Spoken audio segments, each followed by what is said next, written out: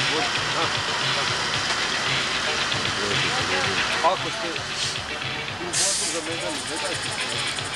Vidite, vidite, ne staje za prvo mjesto. Bez obzira. Šta je, da li drugi, da li si treći, četvrti, ideš, ne uspješ medalju.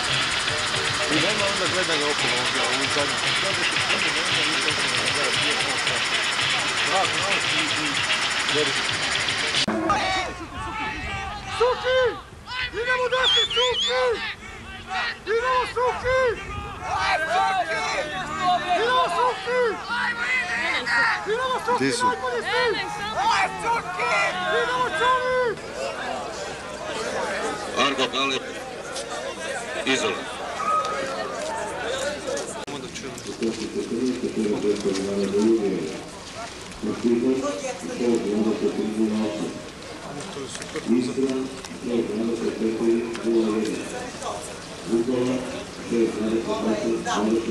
Доброго міську.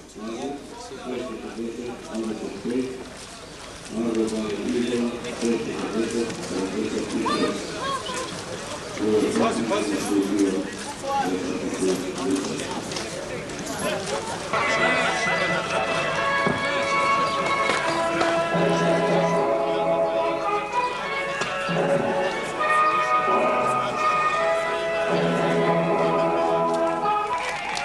njegove predaje Mirko Natošić, predsjednik Vršnjačkog kluba Gusak. Trener ekipe Dušan Kovačević. Patrik Pav. Peci bronzana klub Vukovar. Čarto Krešimir. Krasno Donaković.